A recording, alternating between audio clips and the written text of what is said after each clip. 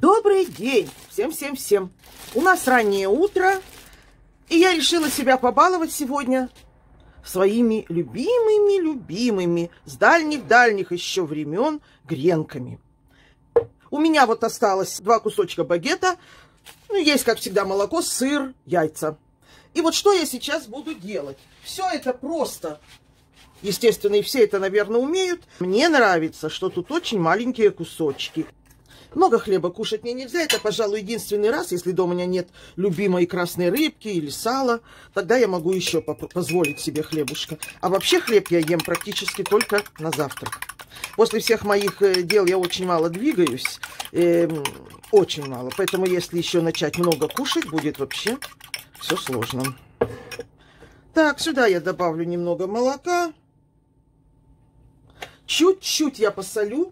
Все, вот это у меня готово. У нас зимой на улице очень приятно, если нет дождя. Вот сейчас солнышко светит.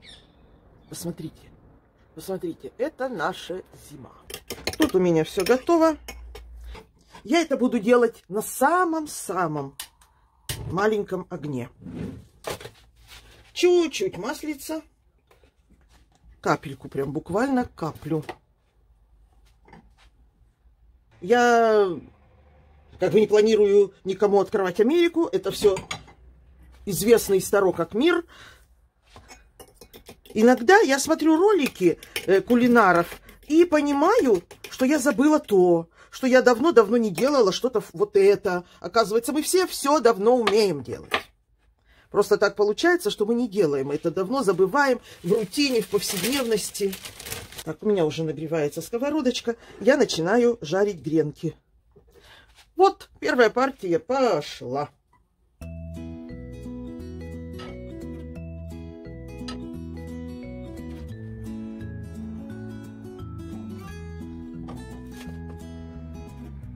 Ну вот, остался последний кусочек. Ну, мы его, так товарищ профсоюза говорил в кино, впихнем. Как раз вот есть чуть-чуть места. Видите, как все замечательно. Вот эти два маленьких кусочка багета раз прекрасно улеглись на крошечную сковородочку. Сковородка диаметром, я вам сейчас скажу, где-то 15 примерно сантиметров. Я очень люблю сыр. Очень. Без сыра я жить не могу вообще. Говорят, э, что в организме коровы вырабатывается э, вещество, подобное морфину. И люди, которые не могут без сыра, это вот такая пищевая зависимость. Это вот про меня. Меня очень удовлетворяет степень поджарки хлебушка, а сейчас я начинаю его аккуратненько переворачивать.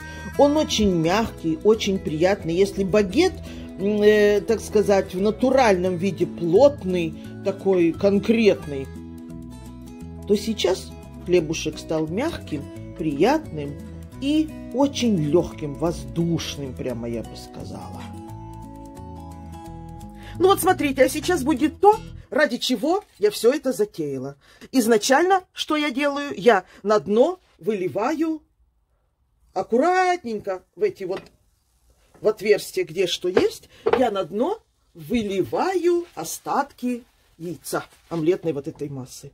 Сейчас я ее, видите, разолью там она займет свое место, будет тихонечко поджариваться. Со второй стороны, видите, я не сильно зажариваю, не, не очень это все можно. Сыр я нарезала, и сейчас весь верх я закрываю сыром. Вот так оно выглядит. Сыра я люблю побольше. Даже если я где-то заказываю тост для себя, я везде прошу тройную порцию сыра вместо всяческих добавок в виде грибов, яйца, зелени только тройную порцию сыра на все деньги. Все, дальше работаем. Все, сейчас я закрываю крышечкой, создаю ему духовочный эффект сыру, чтобы низ у меня хорошо э, подрумянивался. Кофе у меня готов. Сейчас я покажу вам. На сковородочке у нас получилось вот такое. Вот так вот легко оно все у меня вынулось. Вот такой у меня получился бутерброд. В принципе, как бы он небольшой. Если его разделить пополам, вот так представить пополам, это два куска хлеба, которые я кушаю на завтрак. два бутерброда.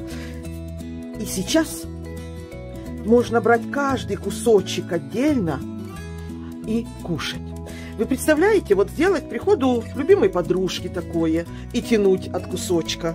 С этой стороны он не подгорел, камера так этот цвет немножко меняет. Оно очень красиво, посмотрите, поджарилось, очень аппетитненько.